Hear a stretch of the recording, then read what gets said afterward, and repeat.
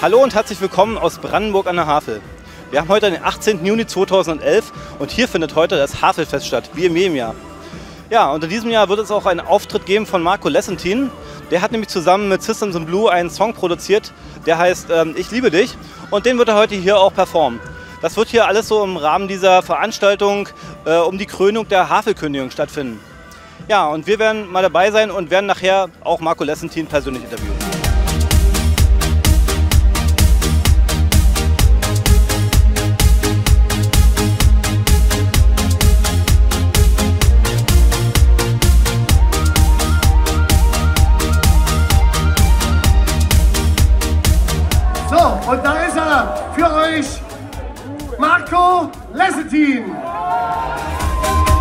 Ich liebe dich. Ich will dein Herz für mich allein. Verliere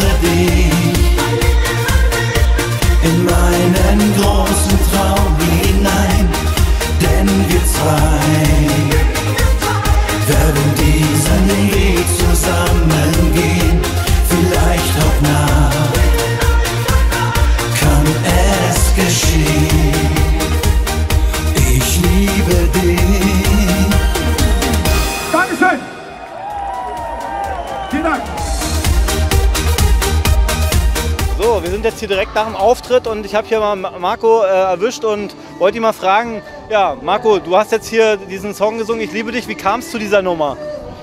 Ja, also eigentlich bin ich ja ein großer Schlagerfan. Auf meinen Veranstaltungen als DJ oder Moderator hat man ja oft viele oder auch als Veranstalter hat man ja viele Schlagerstars und Schlagermusik immer mit am Start. Und für mich war wichtig, auch mal einen Schlager zu machen, weil ich Schlager sehr gut finde. Und da kam mir die Idee, ich liebe dich, einen Titel zu komponieren, zu texten, ähm, der für alle Frauen der Welt geschaffen ist. Ich denke mal, da gibt es die eine oder andere Frau, ja, wo das auch hinpasst. Dachte ich, ich liebe dich, das ist der Titel. Ja, du warst ja hier auch ganz umringt von schönen Frauen auf dem Havel. Also ja, zur, da ging es ja um die äh, Wahl, oder geht es ja immer noch um die Wahl zur Miss Havelkö oder zur Havelkönigin hier. Äh, was, ja, ist, das macht dich nicht nervös oder so, ne? Nein, also man fühlt sich ja wohl äh, bei, bei Frauen, wenn man Frauen um sich hat. Also wäre schlimm, wenn es anders wäre. Und ja, ich finde es schon toll, wenn man hier so tolle Damen, äh, die in der Garderobe hat vom Auftritt. Ich finde das toll. Okay, und bei dem Song selbst hat, ähm, haben die Systems in Blue geholfen. Ähm, ja, wie ist die Zus- Zusammenarbeit gewesen mit den beiden? Ja, eigentlich professionell wie immer. Also ich habe Detlef damals die Nummer rüber, a cappella rübergestellt. Gesagt, komm, kannst du dir vorstellen, die Nummer zu machen? Brauchen da wieder einen hohen Chor. Dachte ja, kein Problem, Tonlage, alles abgeschickt. Und ähm, Micha kam dann auch zu Detlef, haben wir alles organisiert, hat einen wunderbaren Chor mit, ähm, mit Detlef dann gesungen. Ja, also wie immer professionell, bin auch dankbar und möchte auch ganz liebe Grüße an Detlef und Micha senden, dass sie das wieder gemacht haben, weil ich bin ja nicht so einfach im Studio. Wir wollen ja mal alles genau haben und wir haben viel geändert und äh, Detlef war da schon ein bisschen, ich sage nicht genervt, aber ich war nicht einfach. Aber das Produkt zeigt sich ja, also hat sich gelohnt. Wunderbar. Ich glaube, dann wünschen wir jetzt Marco Lessentin viel Erfolg und vor allem, dass, das, dass die Nummer auch im Radio gespielt wird. Also, viel Erfolg. Danke, danke. Ciao, tschüss.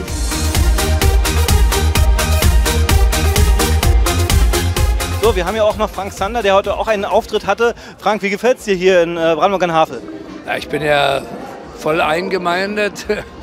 Also erst Ehrenbürger von Brandenburg und außerdem Fritze Bollmann gehört ja nun mal zu Brandenburg, zum BC.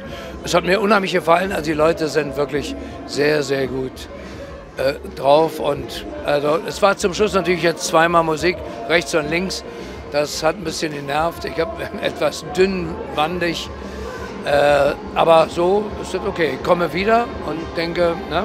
Ich glaube, diese, diese Verbundenheit, dieses Regionale, das rechnen sie dir auch sehr hoch an, die Leute. Ja, also ich- äh, es hat mich irgendwas erschüttert. Zwei Damen, die irgendwo herkamen, die haben abgeheult und so.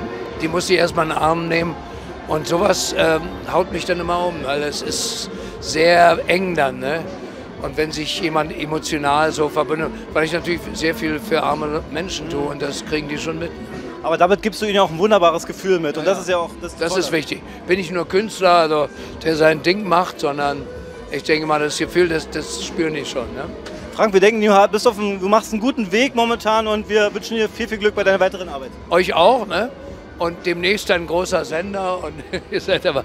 So, Ich muss jetzt mal. Ja, Pause- alles klar. So, das war Frank Zander. Heidi Hustig. Katja Mehlhase. Pauline Vogt Juliane und Schulze. Michelle Louise Köhn.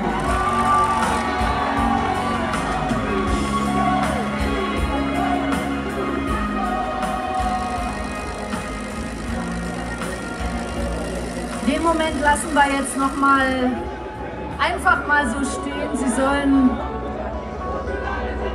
die Atmosphäre hier genießen.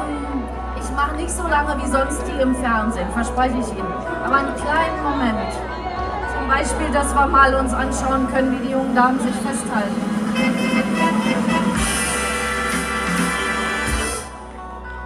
Die Havelkönigin 2011 heißt Katja Milhase.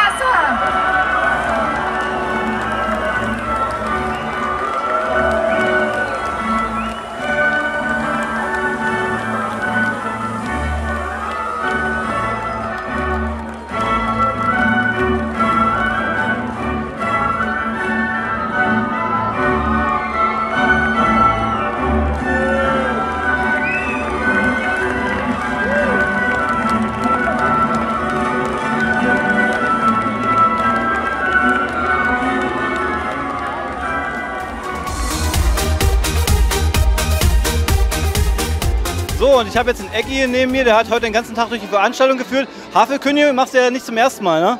Nein, dieses Jahr das elfte Mal. Wir haben jetzt die elfte Havelkönigin gewählt und das ist jedes Mal aufs Neue spannend. Also war auch ganz aufregend für dich heute mal wieder, das so zu machen. Und äh, was waren die besten Eindrücke für dich? Na, es war deswegen so aufregend, weil es auch durch die Jury, so wie es aussah, eine sehr knappe Entscheidung war.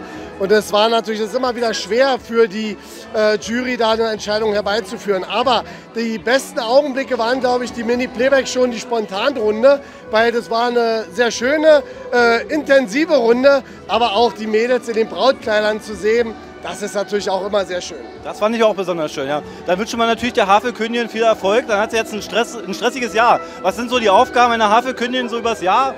Also aus den Erfahrungen heraus wissen wir, dass die Havelkönigin so zwischen 100 und 120 Auftritten hat.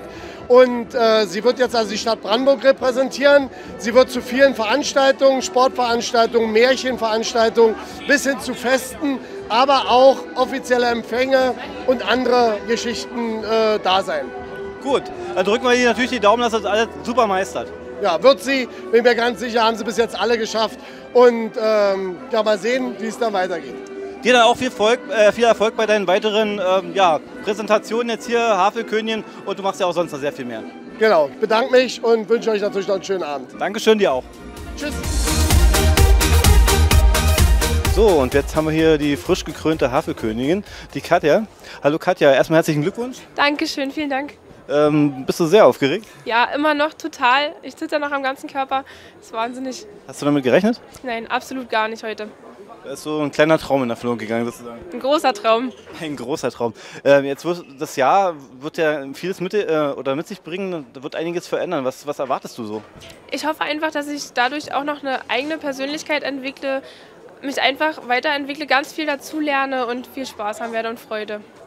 Du darfst ja jetzt auch Brandenburg dann viel präsentieren ähm, außerhalb. Also wir haben ja schon gehört in, in Karlsruhe äh, und ähm, ja, also ich meine, das, da wirst du auch viel reisen jetzt demnächst. Ja, also Reisen gehört zu einer meiner Lieblingsbeschäftigungen. Daher freue ich mich darauf absolut. Ich bin total gespannt, wie ich die ganzen Städte kennenlernen werde und die ganzen Leute. Ich freue mich riesig. So, und jetzt nach der Krönung hast du noch einen Termin, jetzt gehst du noch aufs, aufs Schiff und äh, ja, freust du dich da jetzt noch drauf, so ein bisschen durch die, über die Havel zu fahren? Absolut, ist ja mal was ganz anderes, das Feuerwerk von so einem Schiff äh, zu erleben und dieses ganze Drumherum, der Kurfürst und die ganzen Kapitäne, das ist super, freue mich riesig. Okay, dann wünschen wir dir viel Erfolg dabei. Dankeschön. So, wir befinden uns jetzt hier noch im Backstage-Bereich. Hinter mir seht ihr auch die Bühne, äh, wo Marco vorhin aufgetreten ist. Und auch die Havelkönigin wurde ja schon gewählt. Das Einzige, was heute auf dem, äh, am Samstag noch auf dem Tagesordnungspunkt steht, ist das Feuerwerk. Und das gucken wir uns gleich mal an.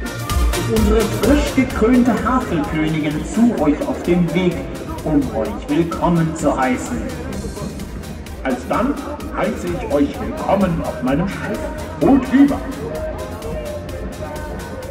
Natürlich wunderte sich der Kurfürst. Welche wundersamen Gestalten. Was für eine seltsame Mode.